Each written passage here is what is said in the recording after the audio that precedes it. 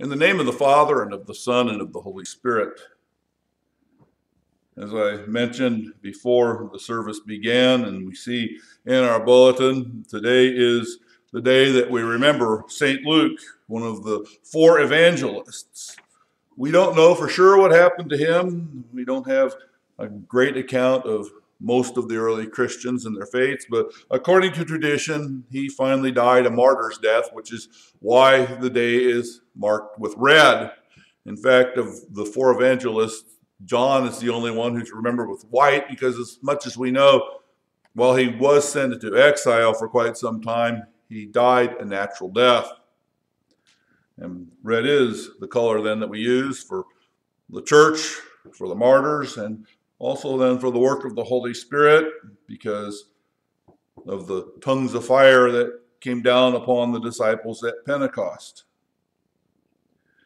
And it's nice that the day fell on a Sunday this year since we've been plugging along with all sorts of health issues, not just in ourselves, in our congregation, or those around us, but you can't read the news or watch something on television or internet or listen to anything on the radio for very long before somebody reminds you to put on your mask, wash your hands, alcohol up, stay away from people if you think you're sick. If somebody in the next room over was sick, you might want to lock yourself down for a while too.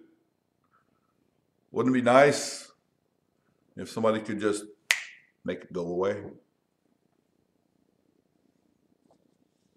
When we sang the hymn stanza specific to Luke a few moments back. For that beloved physician, all praise, whose gospel shows the healer of the nations, the one who shares our woes. Your wine and oil, O Savior, upon our spirits pour, and with true balm of Gilead, anoint us evermore. The oil, which was used for many anointings, oftentimes connected with the work of the Holy Spirit. The wine, which medicinally is wine or acidic vinegar, could cleanse wounds and keep worse infections from developing. They didn't have all of our antibiotics. They didn't have tanks of oxygen on hand. They didn't have defibrillators hanging in buildings all over the place. But what they had, they used. But it doesn't really make any difference we have tanks of oxygen, we have antibiotics, we have antivirals, we have smart people working on vaccines. And still, people get sick, whether it's a cold or whether it's COVID. Their bodies break down, whether it's a heart attack or cancer or any one of a number of other things. As Isaiah reminded us, there are deaf people, there are blind people, there are lame people, there are mute people. All need help. And the Lord reminds us then in today's psalm that He is the one who helps.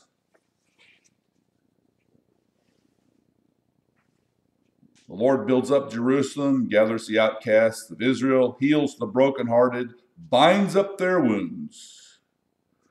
The Lord brings healing. We sometimes speak of him as the song did as our great physician. Luke himself, Dr. Luke, if you will, was also a physician. And I imagine that when he heard about Jesus' miracles of healing, he paid special attention to them. We see a few times that his gospel is the only one that records certain things that are medically related, such as the cleansing of the ten lepers. And even Jesus' virgin birth, something he as a doctor had not seen in his lifetime or heard about from whoever he studied under. But there it was. The intricacies of the body and the way it could fall apart or get ill, and also then the ways that it could be helped and healed. And so today, with him who became Paul's personal physician, the only one who Paul says was with him at that time, some of his people he had sent off to be pastors elsewhere, such as Titus and Crescens, some who had just run off from him, like Demas, and some in the area who just actively opposed him. But Luke tended to Paul while he was in captivity. In fact, this time in Second Timothy, it's often thought that was Paul's second Roman captivity. We believe he was out for a time.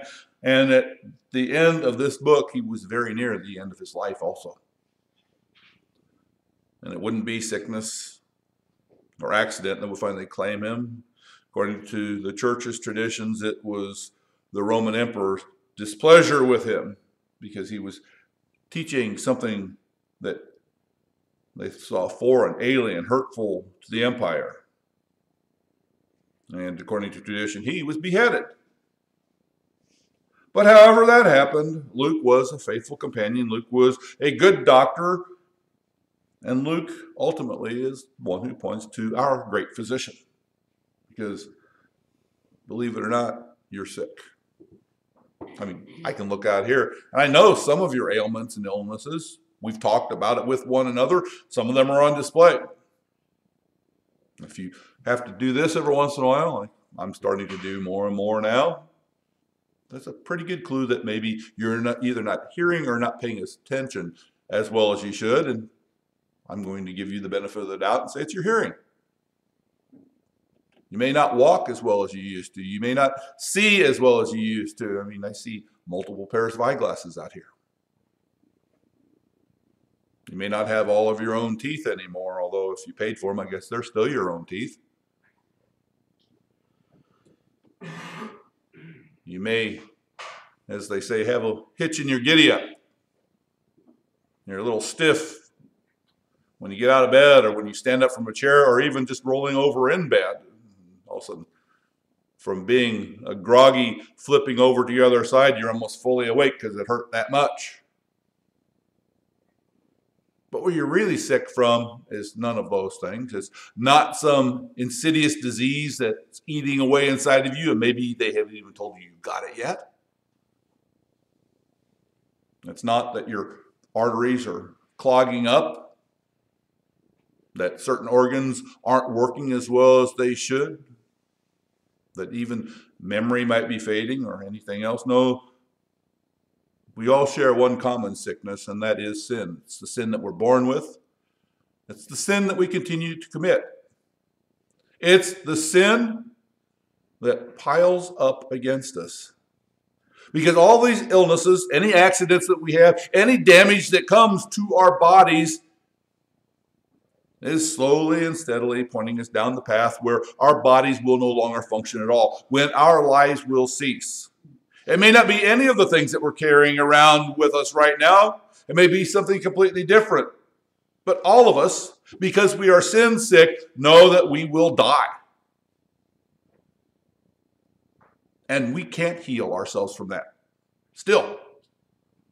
Even with a defibrillator, they may pop you back awake and moving around, and maybe you'll go on for years. With a heart attack, your heart may stop, but if they get in there and do the right things at the right time, your heart will start again.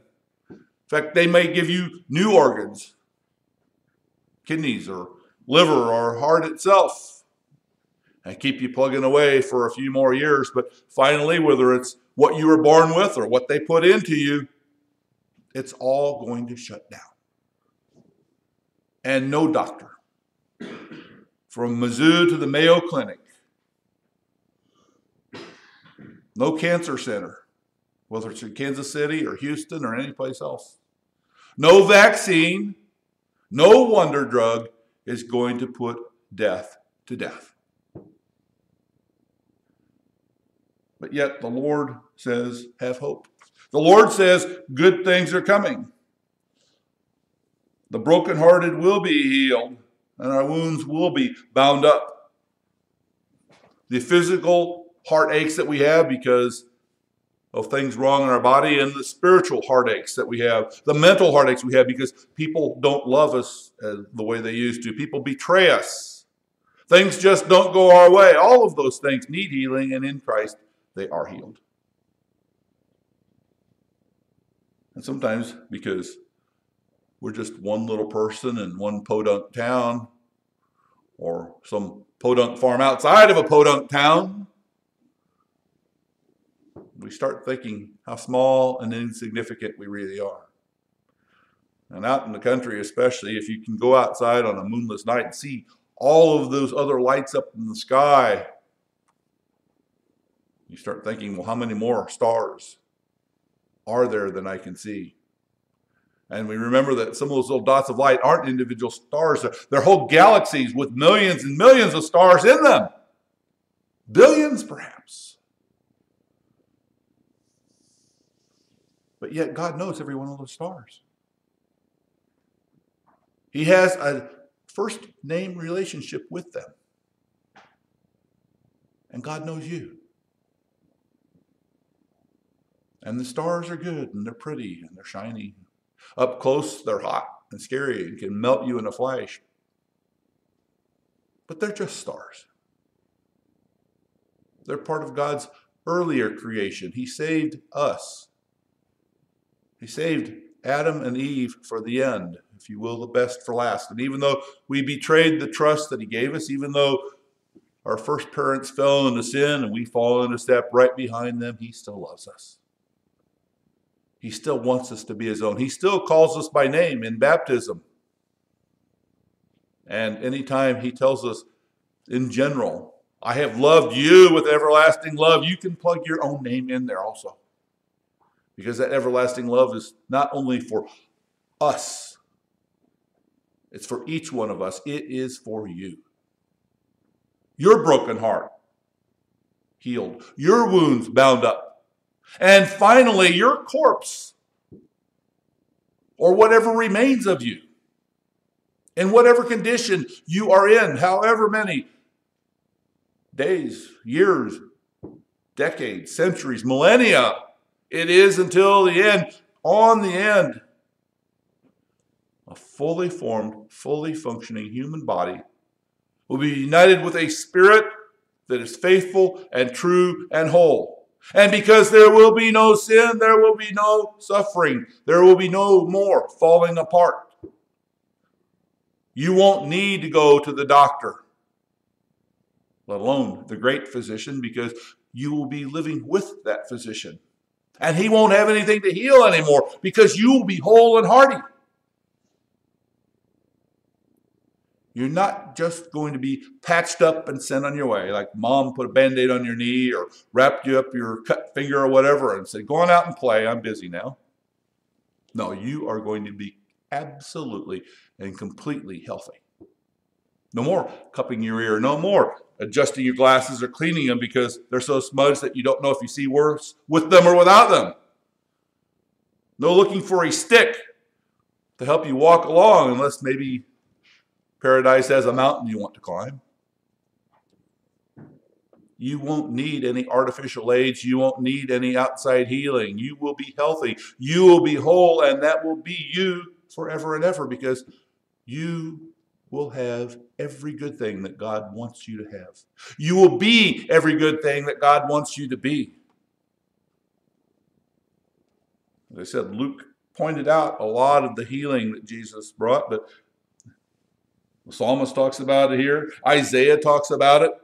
The whole Bible is filled of what happened after the fall and how God has continually worked to fix it, to heal it, to restore it, to bring it back to where it should be whether it's his own people who have run off from him, Jerusalem, Zion, in our psalm, whether it's we ourselves who catch a bad case of sin on top of the regular sin we already have and really go to town in rebellion against him,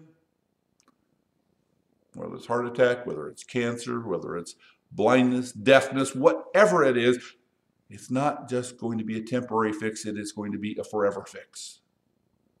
Christ suffered our pain, our suffering, our wounds, our illnesses in his own body. Not because he was a sinner, but because he carried our sin. And when that sin died in him, that means that he also now can put our sin to death. As he does in baptism, as he does every time he forgives us, as he does when we hear his word proclaimed, when we read it ourselves from the scriptures, when we taste and see he is good in his supper, in whatever way imaginable that God comes to us. He is coming to us with health and healing and restoration, and with the promise that the best is yet to come. The new you, the whole you, the perfect, wonderful, holy you is still to come. God already treats you that way. God already loves you that way. And God wants to keep you in faith so that you can enjoy the fullness of it when you are raised up on the last day. So whether living or dead, when the Lord finally comes back, you will be alive in a way you can't even imagine right now. Even the things that you were born with that weren't quite right will be right. Every creak, every groan, every moan of your body will be an ancient memory if you remember it at all. And you will celebrate. God cares enough for us to heal our earth, to heal His creation, to heal us. And He will one day wholly and completely heal every one of us. That having bound our wounds and brought health to them, He will bring us to Him that we might enjoy everlasting health and life and peace. In the name of Jesus, Amen. The peace that surpasses understanding keep you in Christ Jesus. Amen.